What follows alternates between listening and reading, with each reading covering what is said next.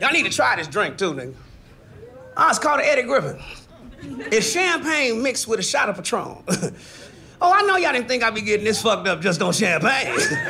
it's that Patron that don't leave you alone, get all up in your dome and make you miss your home.